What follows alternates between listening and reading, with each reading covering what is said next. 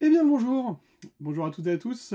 Comics et vous, nouveau numéro. Aujourd'hui, on va parler du Marvel Day et de cette semaine de folie qui se conclut après la Paris Manga. Alors, je vous ferai une vidéo euh, pour vous résumer toutes les rencontres que j'ai pu faire ces derniers temps. Franchement, ça s'est enchaîné et à la Paris Manga, j'ai rencontré du beau monde. Vous allez voir quelques photos. Franchement, c'est ouf. Euh, n'hésitez pas à aller voir la page Insta parce qu'ils m'ont fait des dingueries. Mais aujourd'hui, ce qui va nous intéresser, c'est le Marvel Day. Alors, pour l'achat de deux euh, must-have, vous aviez euh, Jour de Fatalisme, euh, qui est une offre, qui est un comics qui est offert lors de ce Marvel Day. Alors, je ne peux pas vous le présenter parce que je ne l'ai pas physiquement et le temps que je récupère, bah, ça fera un peu long. Donc, vous allez voir apparaître la couverture juste là, et on va en parler, même si je ne l'ai pas physiquement, on va en parler euh, pour savoir si c'est une bonne chose, une mauvaise chose, si on a bien fait euh, d'éditer euh, ce récit, s'il est à lire ou pas. Et puis je vais aussi vous montrer les deux must-have que j'ai pris et vous en parler un peu. Inhumain, Tour d'Ivoire et Iron Man, les 5 cauchemars, deux comics qui sont sortis il y a pas mal de temps, mais que j'avais gardé sous mon aile pour ce Marvel Day.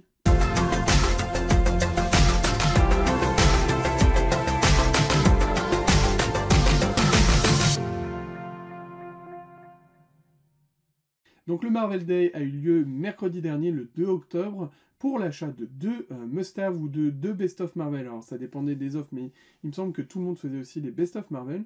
Euh, vous repartiez avec Jour de Fatalis, qui apparaît juste là, euh, qui est un, récit one-shot sur Dr Fatalis. Alors, on va revoir que c'est pas un hasard si c'est sur le Dr Fatalis. Et euh, donc pour l'achat de deux c'est euh, pour l'achat de finalement deux prix abordables euh, au niveau de la classe des prix chez Panini, on va dire que c'est des prix moyens, qui aussi entre 16 et max 25 euros. Alors, pour ce Marvel Day, j'ai choisi deux titres, un à 25 qui est Inhumans Tour d'Ivoire, qui est un récit complet sur les Inhumains, il n'y a pas beaucoup de récits sur les Inhumains et on va voir que celui-là fait partie des meilleurs. Et puis, euh, Les 5 cauchemars d'Iron Man. Alors, j'ai commencé à lire, je ne l'ai pas beaucoup lu, donc on va en parler euh, très succinctement parce que je ne vais pas parler de quelque chose que je n'ai pas lu entièrement. En revanche, on va commencer à parler de Inhumains euh, et de ce récit qui est pour moi l'un des récits fondamentaux de, des Inhumains. Alors il n'y en a pas beaucoup des récits sur les Inhumains, bien évidemment il y a les tout premiers récits avec l'apparition des Inhumains dans les 4 Fantastiques, euh, bien évidemment. Alors c'est un peu vieux, il y a eu d'autres histoires par la suite, mais le vrai essor prend euh, assez récemment parce que ce titre-là, c'est la fin des années 90. Et on va avoir également ce récit-là qui est un peu plus récent de Carlos Pacheco. Alors il y a eu une série euh, juste avant le gros crossover Inhumain versus X-Men avec plusieurs séries avec Karnak, qui est une très très bonne série sur Karnak que je vous conseille parce que j'avais vraiment aimé. Je sais plus qui était au dessin, mais c'était vraiment top. Ça aussi, c'est vraiment pas mal. Je sais pas d'ailleurs si ça a été réédité euh, dans un autre format. Je crois que ça, c'est un, des vieux formats de, chez Panini, euh, mais qui fait toujours plaisir. Et donc, pour compléter, parce que finalement, les Inhumains... Alors, très rapidement, pour ceux qui connaissent pas les Inhumains, les Inhumains, ce sont euh, un peu le pendant des X-Men. Alors, c'est pour ça que c'est très marrant le, ce qu'il y avait eu entre Inhumains et X-Men, puisque les Inhumains vont obtenir euh, des pouvoirs euh, quand ils vont passer dans des brumes tératogènes, parce qu'ils ont des gènes qui vont s'activer euh, une fois passés dans les brumes tératogènes, c'est ce qu'on appelle comme ça chez les inhumains, et en fait c'est une espèce qui est modifiée par une espèce alien que sont les cris, qui ont injecté dans leur ADN quelque chose qui fait que ils vont évoluer. Et donc, ce récit est finalement tout ce qu'on voit dans les inhumains et tout ce qu'on attend dans les inhumains avec la position de Flèche Noire que vous voyez qui est le roi des Inhumains et qui finalement peut-être le personnage le plus important euh, et le plus fort de tous les Inhumains, euh, qui a un rôle de roi euh, bah, en fait muet puisqu'il n'a pas le droit de parler, parce que s'il parle il va déclencher tout son pouvoir. Et donc il a un rôle assez charismatique, central bien évidemment, et même l'histoire finalement tourne grandement autour de lui et de son frère qui est le, prince fou Maximus, qui est la personne qui va tirer les liens de tout ça. Et au-delà de ça, ce, qui m'a vraiment plu dans ce numéro et euh, dans l'histoire qui est tramée par Paul Jenkins, c'est que il y a une vraie question sur la différence, sur la place de la société, alors pas forcément que dans la société inhumaine, mais finalement aussi dans la société humaine, et de voir tout ce, finalement, ce parallèle et cette différence en même temps entre la société inhumaine où les inhumains, et notamment la famille royale, sont vus comme le haut de la société, et finalement, quand on regarde du point de vue des humains, euh, on les traite comme des parias et euh, comme euh, des animaux de foire, un peu. Un peu comme le sont d'ailleurs les X-Men, d'où le parallèle aussi avec les X-Men. Ce que j'aime beaucoup, c'est comment est traitée la différence. Ça me fait penser à un peu Dieu crée l'homme détruit, où sur les X-Men, on a justement toute cette question de différence, de vision de l'autre, et de notre tolérance ou pas, selon comment on voit les choses. Euh, et euh, je trouve que c'est très bien traité par Paul Jenkins dans ce numéro. Ce qui est très bien traité aussi, c'est les intrications entre les personnages de la famille royale. Alors, on pourrait dire que euh, globalement, dans toutes les histoires des Inhumains, bah, ça tourne autour de ça, mais bon, c'est un peu aussi ce qu'on attend. On a des personnages très forts, que ce soit Medusa, que ce soit Gorgon, euh, Karnak, bien évidemment, ou, les, ou euh, Flèche Noire. Euh, bien évidemment, c'est des personnages centraux qui sont très bien traités là aussi, avec toute leur singularité pour chaque personnage, qui est très bien retranscrite et... Alors pour Gorgon peut-être un peu trop par moment, mais c'est peut-être la limite que je mettrais. Mais sur les autres, franchement, je les adore. Ils sont très bien traités. Il n'y a rien à dire. Et puis c'est porté par le dessin de Jaeli, que je trouve très précis. Alors un peu statique par moment, je dois dire, mais euh, correspondant aussi à la fin d'une époque, peut-être le début d'une autre, qui est euh, finalement le début des années 2000, et où on, finit un peu avec ces corps hyper musculeux des années 90. On est vraiment sur cette période de transition que, j'apprécie énormément de la fin des années 90, début 2000. Euh, et puis, bon, c'est le dessin de toujours, c'est toujours très précis, très fin, en même temps, avec des détails sur les visages, j'essaye de vous trouver quelque chose d'assez euh, bien sans vous spoiler aussi. Voilà, par exemple, les détails sur la, famille euh, inhumaine. Euh, donc c'est franchement très agréable à lire. on passe un très bon moment et on rentre dans le monde des inhumains comme jamais. Et finalement, est-ce que ça serait pas la meilleure porte d'entrée dans les inhumains? Je trouve que si, parce que on a vous avez quelques détails avec cette vidéo, et si vous en apprenez un peu plus sur les inhumains, euh, bah, ça sera dans ce, dans ce comics-là.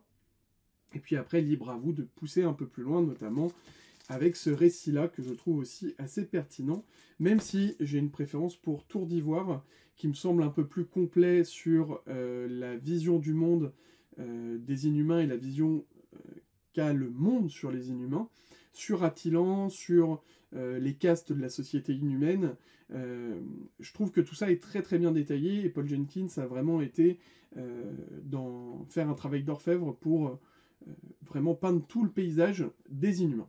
Donc, je suis très content de l'avoir pris parce que ça fait pas mal de temps que je, le, je voulais le lire. Il était sorti en deluxe, si je dis pas de bêtises, et finalement, cette réédition à 25 euros en must-have fait très plaisir. On enchaîne ensuite avec Iron Man les 5 cauchemars, c'est un récit un peu plus récent, 2008, dans la série Invincible Iron Man, euh, écrit par Matt Fraction, dessiné par Salvador Larocca, qu'on a déjà vu passer sur Extreme X-Men et Dark Vador. Donc un dessin qui est euh, plutôt agréable. Là, j'ai pas été euh, encore jusqu'au bout, donc je vous en parlerai pas plus dans le détail. Pour moi, c'est du Iron Man assez classique avec Là, pour le coup, Iron Man qui doit gérer sa vie entre, Tony Stark et Iron Man, et euh, finalement un, méchant euh, qui euh, vient polluer les deux mondes d'Iron Man et, tout, l'avancée technologique, alors on se replace en 2008, je trouve que c'était vachement novateur, comme l'étaient un peu d'ailleurs les films Iron Man. Alors, de mémoire, je crois que, en plus, en 2008, ça correspond à la sortie plus ou moins du premier Iron Man. donc il y a un contexte un peu historique qui me plaisait pas mal. Euh, et puis c'était un moyen de lire du Iron Man. Je n'ai pas, lu beaucoup de Iron Man. Le Diable en bouteille, par exemple, ça j'ai lu, c'est très très bien. La guerre des armures, bien évidemment. Donc euh, les premières pages sont agréables. C'est pas une histoire, euh, bon, incroyable, mais on passe un bon moment. Donc voilà, je verrai sur la suite. Je vous en dirai plus dès que j'aurai fini, parce que pour le moment, c'est pas trop mal. Et le dessin se tient. Salvador Larocca, voilà, c'est un dessin qui est euh, qui, est toujours euh, plus ou moins bon quand même. Donc, on va finir par Doctor Doom, jour de fatalisme, l'objet quand même de ce Marvel Day. Alors, quand je vous ai dit, je peux pas vous le présenter, hein, il est là, parce que je l'ai oublié chez madame, hein, quand on a la tête en l'air, bravo Romain. Et donc, est-ce que ça vaut le coup? Alors, donc c'est un one-shot, c'est un one-shot où on va suivre du coup Dr Fatalis, dans une quête pour sauver l'univers euh, de Galactus qui a complètement pété un boulot et qui s'est attaqué à toutes les planètes, euh, à tous les dieux célestes possibles et inimaginables, à tel point que Fatalis est le dernier recours de l'univers pour le sauver. Bon, ça c'est le pitch initial. Euh, derrière, c'est alors c'est une, histoire de Jonathan Hickman qui est dessinée par Gene Stamford, qui a déjà fait d'ailleurs du, du Marvel, il a fait de mémoire du Deadpool, euh, du Power Man et une Iron Fist, euh, un peu de Star Wars de mémoire aussi. Le dessin est sympa, hein. je vous mets quelques planches là qui vont passer pour euh, vous donner un premier aperçu. Je trouve que l'entité cosmique et la partie cosmique est vachement bien retraduite. Il y a toute une partie où Fatalis va changer un peu et va devenir beaucoup plus cosmique, ça je vous laisserai le découvrir, mais je trouve que ce personnage qui en est issu est, est pas mal dessiné. En vrai, sur le dessin, j'ai pas grand chose à dire, c'est plutôt sympa. En revanche, euh, le scénario, ok, euh, Galactus il pète un boulon, ok, il bouffe des planètes, tout ça, mais c'est quoi le but à la fin? En vrai, quel est le but? Je comprends pas là. Pourtant, Jonathan Hickman, c'est. Pour moi, c'est l'un des meilleurs scénaristes. C'est pas toujours d'ailleurs évident de rentrer dans ces scénarios, mais globalement, c'est plutôt intéressant. Là, je ne vois pas où on va. Sinon de dire, euh, on replace Fatalis en mode sauveur de l'humanité, et en plus, euh, je suis désolé, je vais vous spoiler un peu la fin, mais euh, globalement, on n'apprend pas grand-chose à la fin. Il se passe pas grand-chose. Il va devoir affronter Fatalis, mais bon, à la fin, voilà. la dernière page est très belle, mais on n'a pas grand-chose à se mettre sous la dent. Et donc, euh, beaucoup de paroles. Les moments finalement les meilleurs, c'est quand on voit Fatalis euh, foutre une trempe à tout le monde. Ça, c'est plutôt cool parce que bah, quand on aime bien Fatalis, comme j'aime Fatalis, euh, Fatalis, pardon, Galactus, quand il fout des trempes à tout le monde, c'est très sympa. Mais voilà, y y a, franchement, l'histoire est creuse. Il n'y a pas grand chose. Le choix de Panini de choisir ce one-shot sur Doctor Doom, déjà, c'est euh, parce que ça va être compliqué de le mettre dans une histoire à part, de le publier, ça je peux comprendre, euh, mais aussi ça fait écho euh, à l'annonce récente du fait que Docteur Fatalis sera le grand méchant des futurs films Avengers, donc c'est quelque part pour préparer le terrain et mettre en avant Docteur Fatalis. Ok, why not, mais franchement, ce récit-là, c'est pas un, un must-have, au contraire de ce qu'on nous demande d'acheter justement pour l'avoir. Donc c'est très cool qu'il soit offert. Franchement, euh, de moi-même, je l'aurais pas acheté. Donc c'est très cool de qu'il soit offert, mais euh, dans la promo, bah voilà, ça euh, nécessite pas forcément que vous, d'aller forcément aller acheter des must juste pour lire celui-là. Je trouve que c'est un one shot qui est qui est pas incontournable. vous pouvez zioter quelques dessins, c'est sympa, mais l'histoire en elle-même ne vaut pas le coup de se dire je vais acheter deux must juste pour avoir ce, récit-là. Si vous devez acheter deux must et qu'en contrepartie vous l'avez, bon bah très bien. Euh, mais acheter deux must obligatoirement et se forcer à les acheter pour avoir ce récit-là, je trouve que euh, c'est pas nécessaire. Euh, d'autant plus, alors c'est pas trop le cas, j'en ai discuté avec certaines personnes, mais certains ont eu des éditions où les pages ne collaient pas. Moi, pour le coup, j'ai eu des pages en plus qui étaient collées, très fines. Euh, je pense que c'est un défaut d'édition. Il y a deux, trois personnes qui ont noté ça, mais globalement, euh, toutes les autres personnes m'ont dit que c'était très bien. Donc bon, un peu déçu. Un peu déçu par ce Marvel Day. J'en attendais euh, plus. D'autant plus que on sort du Batman Day où, comme à chaque fois, et encore peut-être mieux cette année, Urban nous propose un, un récit en noir et blanc et là même en artiste édition qui était vraiment bien, je l'avais présenté dans la dernière vidéo. Là, je suis un peu déçu par ce Marvel Day, même si euh, de toute façon j'aurais acheté ces must euh, quoi qu'il arrive à un moment, donc j'aurais eu ce, truc offert. Bon bah voilà, c'est pas le contenu que j'attendais, c'était pas la révolution.